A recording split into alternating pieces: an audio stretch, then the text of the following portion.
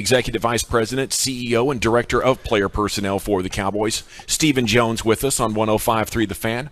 And a good afternoon, sir. How you doing? I'm doing good. How you guys doing? Doing good, thanks. Yeah, we're out here at Fat Daddy's in Mansfield having a heck of a Friday afternoon, and it's great to hear from you. And I got to give you your credit because you called it last week. We were overconfident going in. It, it it didn't sound like you were, but hey, maybe the team was. Was was the team overconfident? You know, it's just hard to judge on something like that. Obviously, I just uh, we didn't play to our standard, and uh, uh, you know, I just uh, our guys have played so well all year, and when you turned on the tape and looked at it on Monday, it's just uh, you know uh, across the board we just didn't play.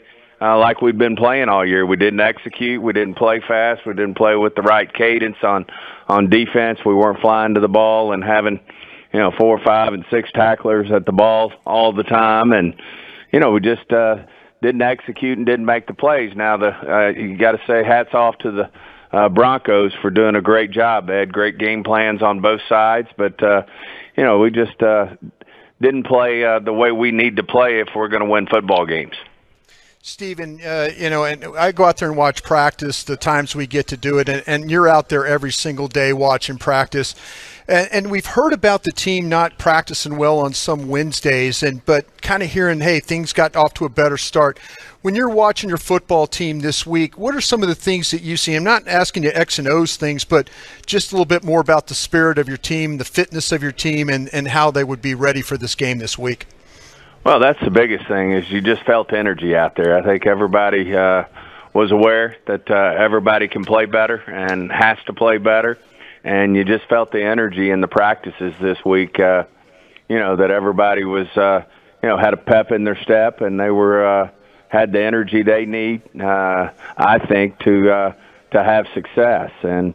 Uh, certainly, we got to go out there and execute, know the game plan, and execute the game plan. But uh, you know, it really just felt like uh, everybody knows, hey, we got to we got to get this thing back on track and uh, and you know play with that uh, winning energy we've had and uh, the football character. You, you felt it out there, and I, I do think we had a good week of practice. Stephen, I, I I know when I was working in the league and stuff, and working for you and your father and stuff and the family, I hated playing against guys like Matt Ryan and Tom Brady and, and Drew Brees and all that. It, it, it's just a nightmare to have to deal with these veteran quarterbacks that have been doing this for so long. Is there? Do you feel the same way, or is it just like, no, Brian, we play who we play, and, and that's kind of where we're at? No, there's there's no question, Brian. I think you, you you hit it. I mean, playing these guys who know how to play the game at a high level, have played throughout their career at a high level. Matt Ryan's one of those guys uh, you know, it's an it's an extra it's an extra challenge, and you know these guys are gonna are, are gonna play well. You know they're gonna know where to go with the ball, and uh, certainly uh, it's an added challenge whenever you go uh, against one of these veteran uh, Hall of Fame type quarterbacks like uh, Matt Ryan. Certainly, we've gotten you know some good input from uh, Dan Quinn, who was the head coach of that team, and so close to winning a, a world championship there in Atlanta with Matt Ryan, but. Uh, you know, we'll have our work cut out for us. They've got some some extremely uh, uh, skilled players uh, in Pitts and and some of their offensive guys. So uh, uh, I know we'll have our hands full out there, and their defense is uh, rolling around good. So we've got to uh, we've got to get prepared. I think we will, and uh, I think we'll play play with energy and hopefully get back on track again. Stephen, uh, Gavin and I yesterday on the show were talking about some of the injuries that you've sustained, especially with Randy and stuff, and all the things that he's kind of gone through. And we were kind of shuffling it back and forth. It's like, you know, is it too much? Are you now asking too much of this team? Is the depth? And, and I know you, you're, you're going to put your head down and keep going and tell everybody to shut the hell up. We just got to keep playing. Is that really like the mindset, though? Are you trying to tell everybody, hey, we just got to keep going here? We got we got these guys. Let's just keep fighting and, and, and see if we can, you know, if we can continue this thing through. Well, absolutely. I mean, every you look around the league, every team's having to fight through adversity and uh, and challenges, whether it's injuries or players missing games because of uh, the pandemic, COVID. Uh, everybody has these challenges, and certainly we're no different.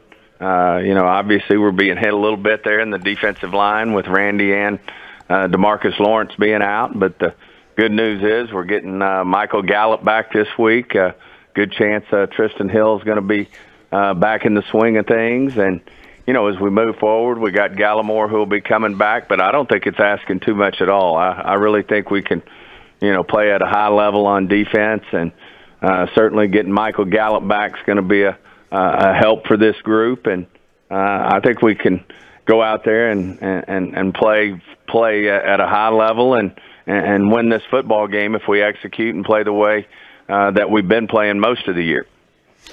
Stephen, I'm going to ask you if you can pull the curtain back a little bit. When you talk to you guys who've been on that staff at Atlanta, can they'll they'll not say it probably publicly, but this means something to them, right? I mean, this. I mean, are you getting a vibe that like they kind of got that look in their eye, like, yeah, we need to go get this one? Uh, and those, you know, I'm talking about your defensive line coach, Joe Whitt, you know, and and and, and DQ there.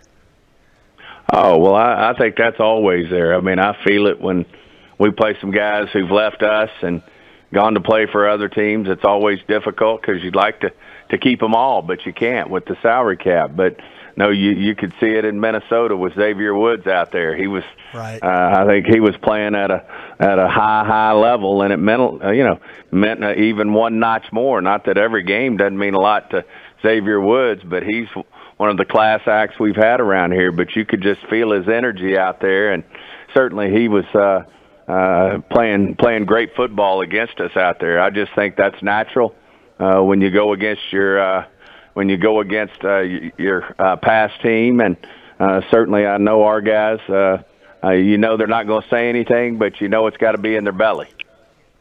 Stephen Jones with you here on the fan. Can can Terence Steele get to a, the point at left tackle that he proved to be at right tackle?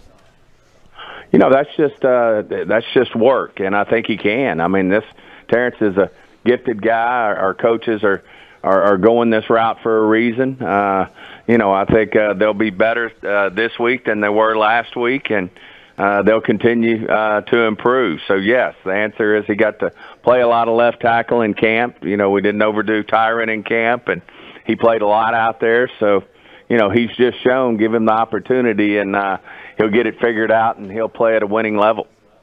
Is there any concern that the calf injury for Dak was part of the struggles from last week, and that it could play a factor in this week's game? No, I, I think he'd be the first to tell you that. I just think we got to go to work, which they have this week, and uh, uh, and execute and get the energy level uh, where it needs to be. And uh, Dak will be at the front of the line with that, uh, getting everybody back on track and and and headed in a in the right direction. And uh, you know, he, he'd be the first to tell you and first tell us if he really thought there was an issue. But uh, as you know, uh, he's certainly uh, not going to uh, talk about the injuries or anything like that playing a role in in his play. Stephen, back in the day, you used to have Steve Hoffman that would bring in Pro Bowl kickers from like he'd go down to Walmart and grab hmm. like a guy and work out 10, and one of those guys would become a Pro Bowl kicker. Is it harder nowadays when you do lose a kicker to try and replace that guy, or is it does these coaches just have such a a good understanding of a pipeline of who they want and the type of guy they want? Because these games are so close and so tight, and you know that could be very well the the difference between a, a win and a loss right there.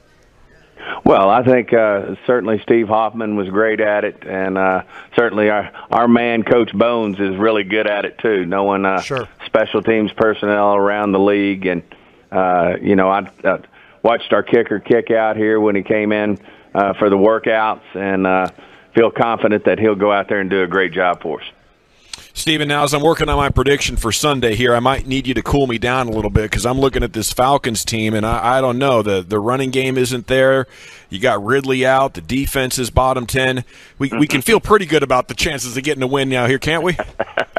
you know how I feel. They pay their yeah. guys too, and right uh, certainly they're going to be, uh, you know, in the AT&T Stadium playing the Dallas Cowboys, and they're going to come with their best shot. And if we don't go out there, we proved that uh, last Sunday. If we don't go out there and, you know, play at the highest level, uh, then disappointments are ahead of us. But I think our guys will. Uh, I do think our guys will rebound, and I think you're going to see a great effort, great energy, and uh, I think we'll play much better. But uh, also know we better because the Falcons are going to come in here uh, ready to play the Cowboys. Stephen, I'd like to I'd like to maybe apologize for the beer that's going to be thrown on you tomorrow in Baton Rouge. Uh, that you probably you probably deserve it. So you know, wear it with some pride, and uh, you know, and, and hopefully uh, that team in purple and gold takes care of your bunch. How about that? Well, I, I hope the team in purple and gold doesn't. I hope I hope my Razorbacks get the get the Tigers tomorrow. But uh, yeah. I'm a big fan of Ed Orgeron. He's a friend. Sure. Uh, he was my strength coach in uh, college when I played ball, and think the world of him. And you know, know they've had their share of injuries this year, but uh, I have nothing but the utmost respect. And of course, what an amazing place to play college football. I was just on the phone with my son, and uh, you know, he, you get fired up when you go into into that stadium down there. And I'm Karen and I are looking forward to being there, and you got great fans down there, and we look forward to uh, look forward to the game. Well, you're a hell of a lot nicer than me, Stephen. I appreciate that. Have a good right, trip, Brian. though, sir. Have a good trip. Take care, man.